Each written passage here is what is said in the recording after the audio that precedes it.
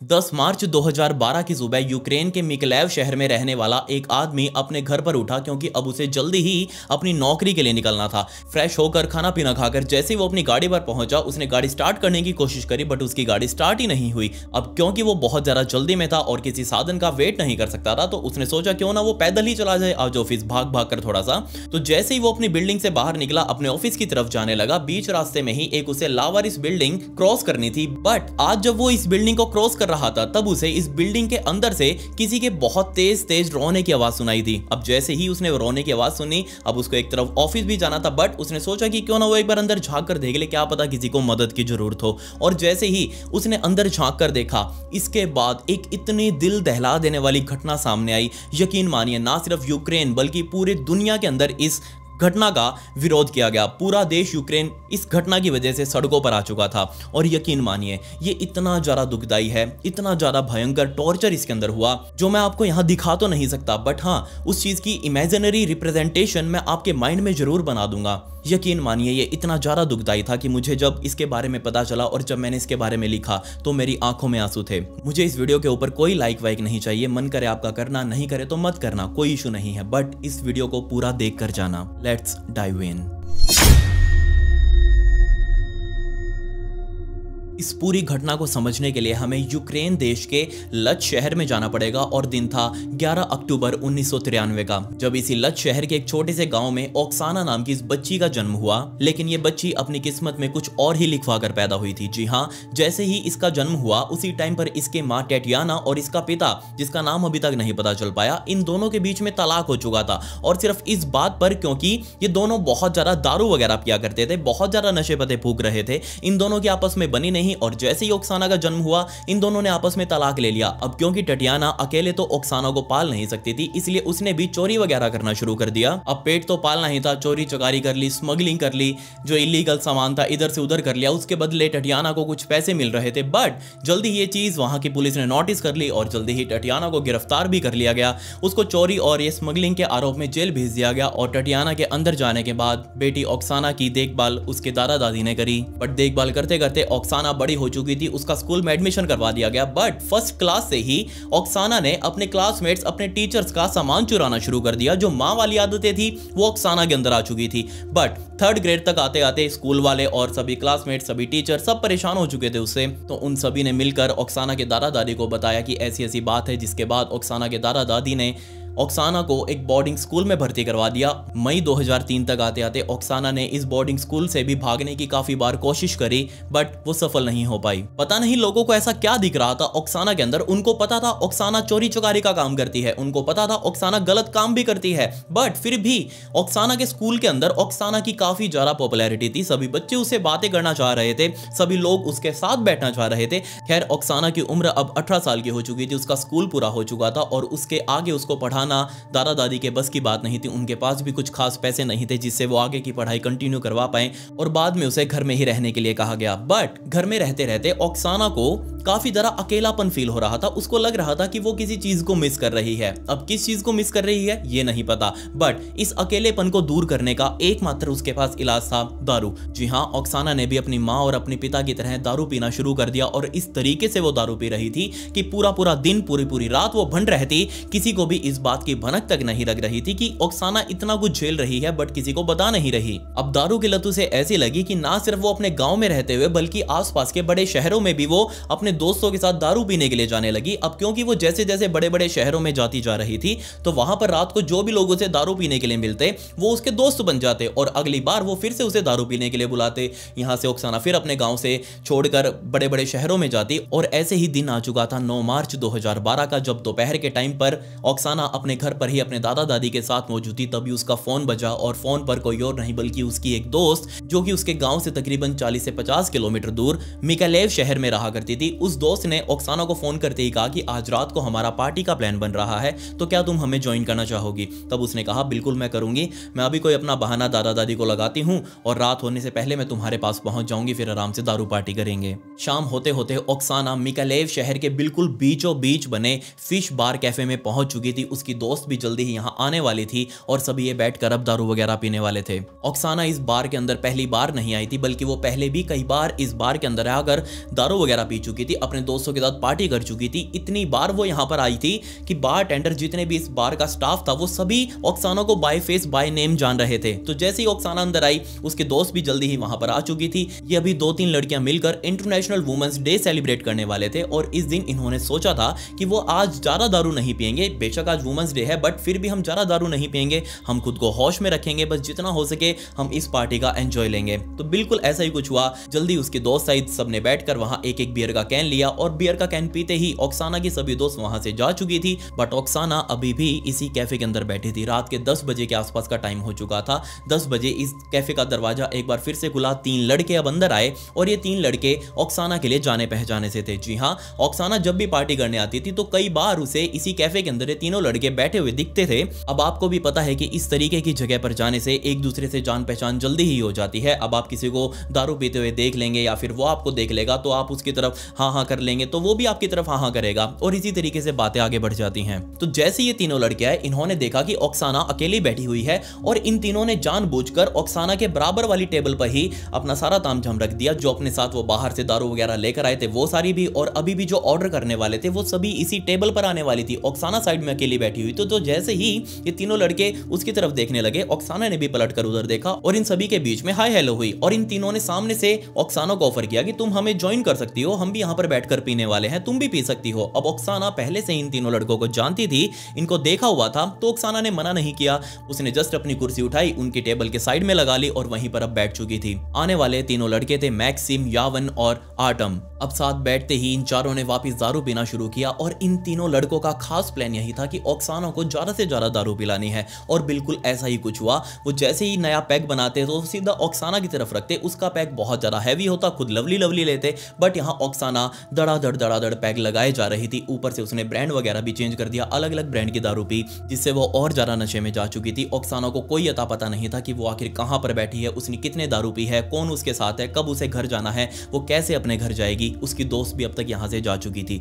But जैसे जैसे रात आगे बढ़ी ऑक्साना और ज़्यादा दारू पीती गई और इस टाइम तक आते आते आसपास जो भी और लोग बैठे हुए थे, उन्होंने ऑक्साना को नोटिस करना शुरू कर दिया और वो सीधा उठकर बारटेंडर के पास गए और बोलने लगे कि, देखो यार, तुम्हारी एक कस्टमर है ये इन तीनों लड़कों के साथ है। वैसे तीनों लड़के अकेले आए थे बट इन्होंने इसकी कंपनी ज्वाइन कर ली और उसके बाद से इसको दारू पिलाए जा रहे हैं और हो सकता है इसने ज़्यादा दारू पी ली हो तो तुम इसका ध्यान रखना थोड़ा सा बार वालों ने कहा कि हम कैसे ध्यान रखें? हमारा काम तो है सिर्फ़ दारू बेचना। अब आगे जो भी करे पिए ना पिए अगले की मर्ज़ी है। बट यहाँ पर जाकर बारटेंडर ने फिर भी एक बार मैक्सिम से बात करी कि देखो तुम्हारे साथ जो ये लड़की आई हुई है, इसने ज़्यादा दारू पी ली है, कहीं ये इधर ही फैल ना जाए, कहीं उल्टी वुल्टी ना कर दे, तुम इसका ध्यान रखना। मैक्सिम ने कहा, तुम बिल्कुल भी टेंशन मत लो, ये मेरे साथ आई हुई है मैं इसका ध्यान रखूँगा, मैं इसको अपने साथ अपने घर भी ले जाऊँगा। जब इन तीनों लड़कों को लगा कि हाँ अब ऑक्साना अच्छे से नशे में हो चुकी है, उसको कोई अता पता नहीं है उसकी हालत का, तब इन तीनों ने ऑक्साना को साथ लेकर इस बार से एग्जिट लिया और सीधा येवन और आटम ये दोनों लोग इस ऑक्साना को अपने साथ पकड़कर मैक्सिम के अपार्टमेंट तक लेकर गए, जहाँ मैक्सिम ने अलग से इस बिल्डिंग के अंदर अपना अपार्टमेंट किराए पर लिया हुआ था। बट ये मैक्सिम उस टाइम पर अपने अपार्टमेंट में नहीं गया। बजाय अपने अपार्टमेंट में जाने के, ये सीधा अपने माता पिता से मिलने के लिए गया। क्यों? क्योंकि इनका प्लान था कि ज़्यादा से ज़्यादा लोग मैक्सिम को उस रात देख लें, ताकि आने वाले टाइम पर ये उसके सबूत बन सके कि हाँ हमने तो उस रात मैक्सिम को देखा था। मैक्सिम को इस बात का अच्छे से अंदाज़ा था कि उसको बस थोड़ा बहुत ही सपोर्ट चाहिएगा पब्लिक का।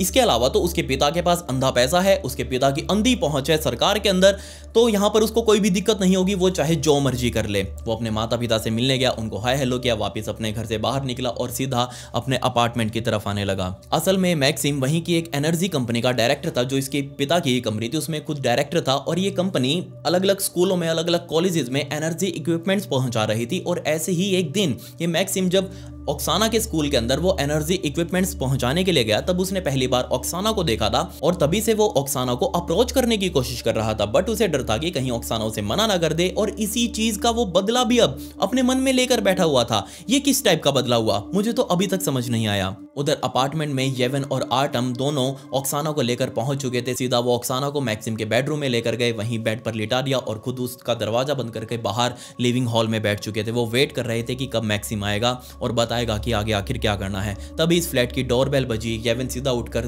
दरवाजे पर गया। उसने दरवाज़ा खोला सामने। मैक्सिम खड़ा था, मैक्सिम अंदर आया, दोनों ने दरवाज़ा बंद किया और अब अंदर आकर तीनों ही लोग लिविंग हॉल में बैठ चुके थे। ये प्लान बनाने वाले थे कि आखिर अब ऑक्साना के साथ क्या करना है। तीनों का प्लान बिल्कुल साफ़ था। सबसे पहले वो तीनों यहाँ मिलकर, सोचकर देखे मिलकर तीनों ऑक्साना का बलात्कार करने वाले थे। तीनों एक साथ उसी बेडरूम में गए जहाँ ऑक्साना सो रही थी और एक के बाद एक एक के बाद एक रिपीटेडली ना सिर्फ़ तीनों एक एक बार, बल्कि बार बार बार बार बार बार वो यहाँ ऑक्साना का रेप करते जा रहे थे। और इस टाइम पर ऑक्साना को कोई अता पता नहीं था कि आखिर उसके साथ क्या हो रहा है। वो इतने भयंकर नशे में थी, उसके मुँह से अजीब अजीब आवाज़ निकल रही थी। उसने बेड पर पड़े पड़े ही उल्टी कर दी, लेकिन फिर भी ये तीनों नहीं रुके। वो उसी हालत में ऑक्साना का बार बार बलात्कार करते रहे। बट जब येवन अपना तीसरी चौथी बार ऑक्साना का बलात्कार कर रहा था, तभी ऑक्साना की आँखें खुल गई और उसने देखा कि सामने येविन उसके ऊपर चढ़ा हुआ है और वो उसके साथ ये सब कुछ कर रहा है। ऑक्साना की आँखें खुलते ही येविन बहुत ज़्यादा डर चुका था। उसको समझ नहीं आया कि आखिर वो क्या करे। उसने जस्ट ऑक्साना के मुँह के ऊपर हाथ रख लिया बट ऑक्साना ने अपने दोनों हाथों से उसके हाथ हटाए और ज़ोर ज़ोर से चिल्लाना शुरू कर दिया।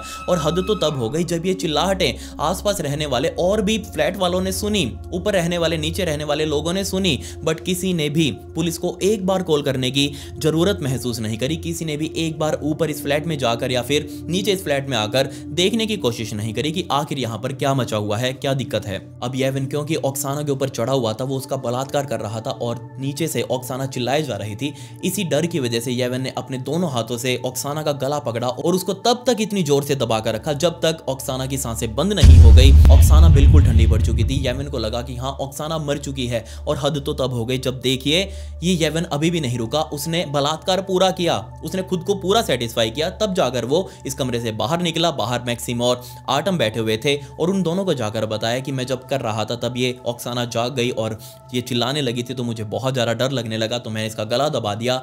ये लड़की मर चुकी है। अब क्योंकि ये तीनों बहुत ज़्यादा टेंशन में थे कि लड़की का उन्होंने मर्डर कर दिया है, अब इसके साथ कुछ करना पड़ेगा, इसकी बॉडी ठिकाने लगानी पड़ेगी। ये तीनों प्लान बनाने लगे कि आगे आखिर करना क्या है। तब मैक्सिम ने येवन और आटम को ऑर्डर दिया कि तुम दोनों बाहर जाओ, कहीं आसपास कोई बढ़िया सी लोकेशन देख कर आओ, जहाँ पर हम इसकी बॉडी को डिस्पोज कर सकते हैं। और मैं यहाँ पर रहकर ही सोचता हूँ कि आखिर इसके साथ क्या किया जा सकता है। मैक्सिम के दोस्त येवन और आटम दोनों इस फ्लैट से बाहर निकले, नीचे उनकी गाड़ी खड़ी थी। गाड़ी उठाकर वो आसपास चक्कर लगाने लगे और ये देखने लगे कि आखिर कहीं कोई ऐसी उनको लोकेशन मिल जाए जहाँ लावारिसी कोई बिल्डिंग हो या फिर कोई जंगली इलाका हो जिसके अंदर वो इस बॉडी को डंप कर सके। तभी इन दोनों को एक अधूरी बिल्डिंग दिखाई दी जो काफ़ी टाइम से कंस्ट्रक्शन के काम में अटकी हुई थी। वो पूरी बनकर तैयार नहीं थी। वहाँ पर एक डेंटल क्लिनिक खोला जाना था बट वो काम कभी पूरा ही नहीं हो पाया और इस बिल्डिंग की तलाश इनकी पूरी हो चुकी थी कि हाँ इसी के अंदर आकर हम इस लाश को डंप कर सकते हैं और ये हमारे फ्लैट से ज़्यादा दूर भी नहीं है। ज़्यादा लाने में किसी को पता भी नहीं चलेगा, चुपके से यहाँ डालकर गायब हो जाएँगे। ये दोनों लोग वापस मैक्सिम के पास गए।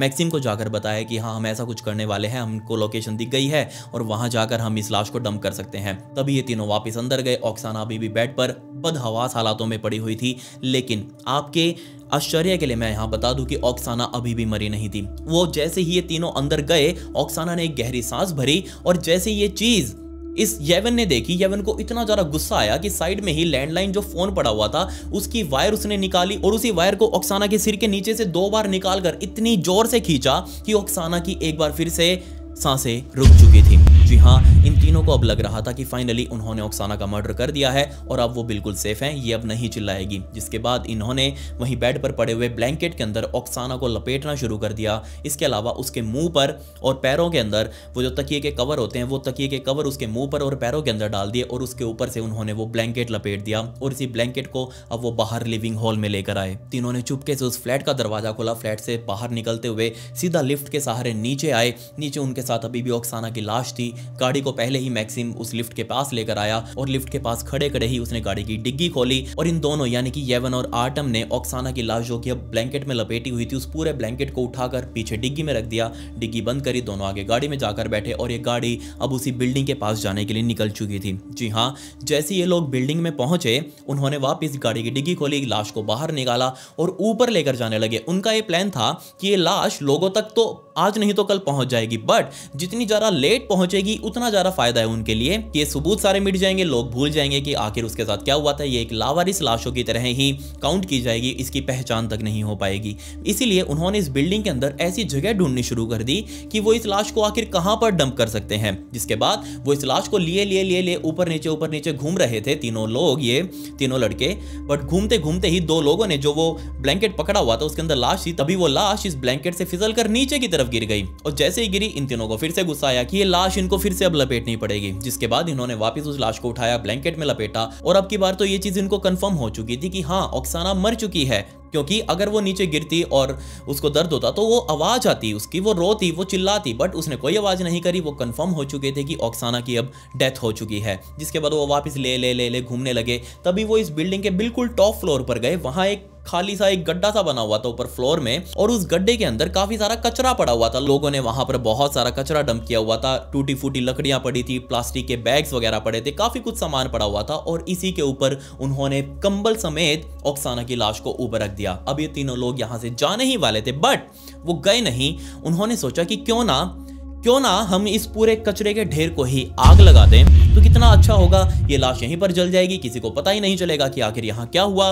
कूड़े में तो आग वैसे भी लगती रहती है, कोई इस चीज़ को नोटिस नहीं करेगा। इन तीनों ने उस टाइम पर कूड़े के अंदर आग लगा दी। बट क्या आप इस बात पर विश्वास करेंगे कि जिस टाइम पर यह आग लगाई गई थी, उस टाइम पर बेचारी ओक्साना ज़िंदा थी? जी हाँ वो ज़िंदा थी। अब आप सोच कर देखिए ज़िंदा ही एक इंसान को। बारबेक्यू, आपने देखा होगा, जो वो आग के ऊपर हम कोई भी टीका, आप सुन ले पनीर टीका, जब हम आग के ऊपर वो उसको भूनते हैं, वो सीख के अंदर डालकर बिल्कुल ऐसा ही कुछ बेचारी ऑक्साना के साथ अब होने वाला था। जैसे उस आग ने तूल पकड़ा, चारों तरफ़ आग लग चुकी थी, बीच में ऑक्साना है बट इन तीनों ने एक बार भी चेक करना ज़रूरी नहीं समझा कि क्या ऑक्साना ज़िंदा है या नहीं। एक बार उसे हॉस्पिटल तो ले जाए कम से कम, लेकिन नहीं। इन्होंने जस्ट आग लगाई, और इसी टाइम पर ऑक्साना बिल्कुल बदहवास हालातों में अंदर पड़ी हुई थी उस ब्लैंकेट के अंदर, और उसकी जो गर्मा फरमाइश है, वो अब अंदर जाए जा रही थी, जाए जा रही थी। क्या आप इस बात पर विश्वास करेंगे कि अंदर ही ऑक्साना के सारे के सारे ऑर्गन्स उसका लीवर उसका पेट, उसके फेफड़े, उसका दिल अंदर ही अंदर उबलने लगा।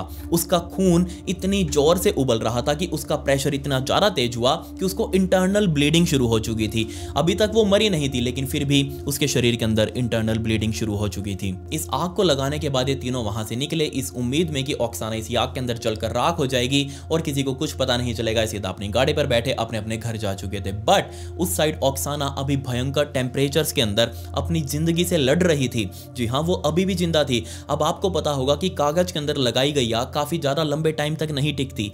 प्लास्टिक के अंदर लगाई गई आग काफ़ी ज़्यादा लंबे टाइम तक नहीं टिकती बट वो जलती तो है ही फिर भी, उसके अंदर काफ़ी सारी लकड़ियाँ भी पड़ी थी और लकड़ी जलने के बाद आपको पता होगा वो अंगारा बन जाती है, कोयला बन जाती है और उसके अंदर से काफ़ी लंबे टाइम तक हीट पैदा होती रहती है, पैदा होती रहती है और ऐसा ही कुछ अब यहाँ भी हो रहा था। क्या आप इस बात पर भी विश्वास करेंगे कि आने वाले दस घंटों तक बेचारी ऑक्साना उसी कंबल में लिपटी हुई जो काफ़ी जगहों से अब जल भी चुका था, उसका शरीर भी काफ़ी जगहों से जल चुका था बट वो अभी भी ज़िंदा थी और आने वाले दस घंटों तक वो किसी तरीके से इस भयंकर गर्मी में, भयंकर आग में खुद को बचा कर रखी हुई थी। बेशक वो अंदर से क्या कुछ फील नहीं कर रही थी। दस घंटों बाद 10 मार्च 2012 का दिन आ चुका था, सुबह हो चुकी थी और सुबह सुबह पूरा शहर अब जाग चुका था। लोग अपने अपने काम धंधे पर जा रहे थे। ऐसे ही एक आदमी पास का जो रहने वाला था, वो अपनी गाड़ी स्टार्ट करने के लिए पहुँचा क्योंकि अब उसे अपनी गाड़ी लेकर अपने ऑफ़िस पर जाना था बट उसकी गाड़ी उस दिन स्टार्ट नहीं हुई। उसने गाड़ी को वहीं ड्रॉप किया, अपना बैग अपने कंधे पर लगाया और सीधा अपनी सोसाइटी से बाहर निकलते हुए पैदल ही अपने ऑफ़िस की तरफ़ जाने लगा। और जैसे ही वो जा रहा था, तभी उसके रास्ते में ये लावारिस बिल्डिंग उसे क्रॉस करनी थी, सड़क पर चलते चलते। बट जैसे ही वो इस लावारिस बिल्डिंग को क्रॉस कर रहा था, तभी उसने इस बिल्डिंग में ऊपर से किसी के रोने की आवाज़ सुनाई दी। जैसे इस आदमी ने इस आवाज़ को सुना, उसने ऊपर की तरफ़ देखा। एक बार तो उसने इग्नोर करने की कोशिश करी बट नहीं। उसको लगा कि हो सकता है किसी को उसकी ज़रूरत हो और यह आवाज़ बार बार आए जा रही थी। जी हाँ आपने बिल्कुल सही सोचा, यह आवाज़ किसी और की नहीं, बल्कि अपनी मौत से लड़ रही ऑक्साना की ही थी। उसके अंदर अभी भी इतनी हिम्मत बची हुई थी कि वो किसी को चिल्लाकर अपनी मदद के लिए तो बुला ले। जी हाँ जैसे ये चिल्लाने की आवाज़ें इस आदमी ने सुनी, वो लावर इस बिल्डिंग के अंदर दाखिल हुआ, सीधा ऊपर की तरफ़ जाने लगा, जहाँ से आवाज़ें आ रही थी। और जैसे ही वो ऊपर गया, उसने देखा कि आसपास बुझी हुई आग है, उसके अंदर से धुआँ उठ रहा है, उसके बीच में एक कंबल लिपटा हुआ पड़ा है और उसी कंबल के अंदर से कोई है व्यक्ति जिसके हाथ दोनों बाहर निकले हुए हैं और बहुत ज़ोर ज़ोर से चिल्ला रहा है। वो थोड़ी उसके और पास गया, उसने देखा कि ये तो किसी लड़की की। यहाँ पर हालत कुछ ऐसी हो चुकी है, उसने तुरंत पुलिस वालों को फ़ोन किया, वो बहुत ज़्यादा डर चुका था। पुलिस वाले यहाँ मौके पर आए और ये देखने लगे कि आखिर ये ऐसा दर्दनाक हाल कौन कर सकता है। पुलिस वालों ने तुरंत ऑक्साना को एंबुलेंस के अंदर लोड करके सीधा हॉस्पिटल पहुँचाया, वहाँ उसका इलाज शुरू किया गया और शुरुआती कुछ घंटों में ही पुलिस वाले ऑक्साना से उसका बयान लेने के लिए पहुँच चुके थे और उस टाइम पर ऑक्साना बोल सकती थी। ऑक्साना ने बताया कि उसका ये हाल किसी और ने नहीं, बल्कि मैक्सिम आर्टन और जेविन ने किया है। ऑक्साना ने यह भी पुलिस वालों को बताया कि मैक्सिम ने काफ़ी बार उससे अप्रोच करने की कोशिश करी है, काफ़ी बार उसको पैसे के बदले रातों को बुलाने की भी कोशिश करी है बट मैंने हर बार उसे मना किया और उसी चीज़ का शायद उसने बदला मुझसे लिया है। कल रात को हम सारे लोग इस बार में बैठे हुए थे, वहाँ दारू वारू पी रहे थे और इन लोगों ने मुझे बहुत ज़्यादा दारू पिला दी और उसके बाद ये मुझे अपने घर लेकर गए। वहाँ मेरे साथ ये सब कुछ किया। ये चीज़ें सारी पुलिस वालों को पता लग चुकी थी। पुलिस वालों को अक्साना बिल्कुल नग्न हालातों में मिली थी। उसके शरीर के ऊपर एक भी कपड़ा मौजूद नहीं था, सिर्फ़ वो ब्लैंकेट ही था जो जगह जगह से जला हुआ था और उस ब्लैंकेट के जलने की वजह से ही ऑक्साना का शरीर भी कई जगहों से जल चुका था। जो डॉक्टर्स ऑक्साना का इलाज कर रहे थे, उनको विश्वास ही नहीं हुआ कि कोई व्यक्ति किसी इंसान के साथ ऐसा कुछ कर सकता है और इतना कुछ होने के बाद भी कोई इंसान कैसे ज़िंदा रह सकता है? उसके गले के ऊपर निशान है। काफ़ी भयंकर तरीके से उसके साथ बलात्कार किया गया है। अलग अलग चीज़ें भी शायद उसके वेजाइना के अंदर डाली गई थी बलात्कार करते टाइम पर। सोच कर देखिए आप, ओक्साना उस टाइम पर क्या महसूस कर रही होगी। डॉक्टर्स ने खुद पोस्टमार्टम रिपोर्ट में लिखा कि उसके शरीर के अंदर के ऑर्गन्स अंदर ही अंदर उबल चुके हैं। वो अंदर ही अंदर खत्म हो चुके थे, इतनी ज़्यादा हीट उन तक पहुँच चुकी थी, क्योंकि ऑक्साना दस घंटों तक तपते हुए अंगारों के ऊपर पड़ी थी। एक कंबल में लिपटे हुए और वो कंबल भी खुद उसे जला ही रहा था। ऑक्साना जब पहली बार हॉस्पिटल में आई थी, तब उसके माता पिता भी इस पूरी चीज़ की खबर सुनकर हॉस्पिटल में पहुँच चुके थे, क्योंकि ये चीज़ वहाँ बहुत जल्दी वायरल हुई। बहुत सारे न्यूज़ चैनल्स इस केस को कवर कर रहे थे और ये कवर होनी भी चाहिए थी, क्योंकि ये चीज़ रेयरेस्ट ऑफ़ रेयर थी। ये कोई आम क्राइम नहीं था जो हर रोज़ होता हो। नहीं, ये बहुत ज़्यादा रेयरेस्ट ऑफ़ रेयर था। और जैसी ये खबर फैली, ओक्साना की माँ, ओक्साना की दादा दादी सीधा हॉस्पिटल पहुँच चुके थे। वहाँ जाकर उनको ये बताया गया डॉक्टर्स के द्वारा कि देखो, ओक्साना के बचने की उम्मीद सिर्फ़ और सिर्फ़ दो परसेंट है। बट दो दिन बीतने के बाद ही ओक्साना की बचने की उम्मीद सिर्फ़ और सिर्फ़ आधा परसेंट रह चुकी थी। डॉक्टर्स ने जब प्रेस कॉन्फ्रेंस करी तो उन्होंने भी बताया कि 30 सालों के एक्सपीरियंस में उन्होंने ऐसा कुछ कभी नहीं देखा। आमतौर पर अगर किसी के साथ ऐसा कुछ किया जाए तो वो दो घंटों के अंदर ही मर जाएगा। ओक्साना के साथ ना सिर्फ़ बलात्कार किया गया, बल्कि उसका दो बार गला भी दबाया गया, उसकी दो बार साँसें रोकी गई। इतना ही नहीं, दस घंटों तक उसको अंगारों के ऊपर रखा गया। कंबल के अंदर लपेट कर वो कंबल खुद उसे जला रहा था। उसी वजह से ऑक्साना की बॉडी पचपन प्रतिशत तक जल चुकी थी। फिर भी ऑक्साना अभी तक ज़िंदा कैसे है? ये चीज़ साइंस के बाहर है। 10 मार्च को ही ऑक्साना के बयानों के हिसाब से मैक्सिम, आटम और येवन को गिरफ़्तार कर लिया गया था। वहाँ की पुलिस वालों द्वारा बेशक, अभी तक आपको ये केस पूरा सुनकर अंदर से रोना भी आया होगा, बुरा भी लग रहा होगा बेचारी ओक्साना के लिए बट असली गुस्सा तो आपको अब आएगा। जी हाँ वहाँ की पुलिस वालों ने जो किया, वहाँ की कितनी ज़्यादा करप्ट पुलिस थी और वहाँ का सिस्टम कैसा हो चुका था, ये चीज़ आपको अब पता लगेगी। जी हाँ पुलिस वालों ने इन तीनों को गिरफ़्तार तो कर लिया था बट मैक्सिम और येवन को अगले ही दिन जमानत के ऊपर छोड़ भी दिया गया। फिर सिर्फ़ उनको यही कहा गया था कि तुम शहर से बाहर नहीं जा सकते। बट उनको छोड़ दिया गया। 11 मार्च के दिन जैसे ही लोगों को यह पता चला कि तीन में से दो आरोपी तो बाहर आराम से घूम रहे हैं, इतना भयंकर क्राइम करके। लोगों का गुस्सा फूट पड़ा, ना सिर्फ़ मेघालय शहर के अंदर, बल्कि ऑल ओवर द कंट्री लोग सड़कों पर आ चुके थे, अपने हाथों में बोर्ड ले लेकर। जैसे अपने यहाँ पर निर्भया कांड में हुआ था, बिल्कुल सेम वहाँ पर ऐसा ही हुआ। लोग अब सड़कों के ऊपर थे। लोगों के अंदर गुस्सा था। इस बात को लेकर कि पुलिस वालों ने उनको छोड़ कैसे दिया? अदालत ने फैसला कैसे दे दिया? सिर्फ़ इसलिए कि वो बड़े लोगों के बच्चे हैं, उनके घराने बड़े बड़े हैं, उनके पास पैसा बहुत मोटा है, क्या सिर्फ़ इसीलिए उन दोनों को छोड़ दिया गया? इस साइड सड़कों पर आंदोलन चल रहा था, उस साइड ये दोनों लड़के बाहर आराम से घूम रहे थे और हॉस्पिटल के अंदर बेचारी ऑक्साना अपनी ज़िंदगी से लड़ रही थी, कभी भी मौत उसे अपने आगोश में ले सकती थी बट 12 मार्च 2012 के दिन डॉक्टर्स को ये महसूस हुआ कि हमें उसका एक पैर, उल्टा पैर काटना पड़ेगा, क्योंकि ये पैर सबसे ज़्यादा जला हुआ है और इसी की वजह से इन्फेक्शन पूरी बॉडी में फैल सकता है। और ये पैर काटने का प्रोग्राम उनको जल्द ही शुरू करना पड़ेगा। इससे पहले काफ़ी सारे डॉक्टर्स के बीच में मीटिंग हुई कि क्या हम ऑक्सानो को यहाँ से मॉस को शिफ्ट कर सकते हैं वहाँ पर और भी ज़्यादा अच्छी सुविधाएँ हैं ऐसे इलाज के लिए। बट साफ़ तौर पर सभी डॉक्टर्स ने कह दिया कि इस हालत के अंदर, जिस हालत में बेचारी ओक्साना है, उस हालत में ओक्साना को कहीं भी ट्रैवल नहीं करवाया जा सकता।